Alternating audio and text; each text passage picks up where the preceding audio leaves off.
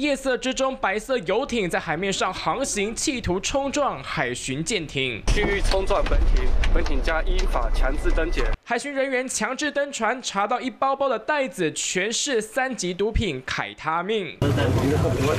靠岸后，调查局人员一个个把毒品接力搬下船。被查获的凯他命纯度达百分之八十五，总共四十六袋九百一十包，重量有九百零六公斤，可以供三百万人吸食，出估市值高达九亿元。然后像深夜，那有点松懈心房，睡着了，那导致我们就是靠近他的时候，他都没有察觉到。运毒游艇玉胜号在去年十二月于马来西亚附近码头出海，前往缅甸柬埔寨交界处附近海运接驳凯他命，随即转往到越南外海附近补给油品，朝澎湖外海前进，企图把凯他命转运到境内。相关单位掌握情资之后，会同美国、马来西亚等国家共同协助，最后在今年一月二十六号半夜三点拦截成功，羁押了陈姓船长以及五名同伙。那我们分析出来，它有三大特点：第一，它看得远；第二，它跑得快；第三，它载得多。